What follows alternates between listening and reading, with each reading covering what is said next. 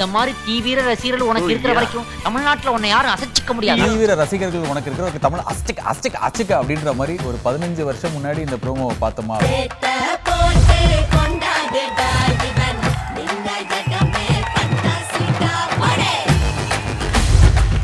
Channel ஆரம்பிச்சு 15 years ஆச்சு அப்படின்றதே கொஞ்சம் ஆச்சரியமா தான் இருக்குது பதினஞ்சு வருஷமாக இப்போ தானே ஆதித்யா வந்தது அப்படின்ற மாதிரி தான் எனக்கு ஃபீல் ஆச்சு. ஸோ இந்த 15 இயர்ஸ் இன்னும் ஒரு நானூற்றி எழுபத்தி மூணு வருஷமாக மாறணும். Happy birthday Aditya. Happy 15 and 50 more to go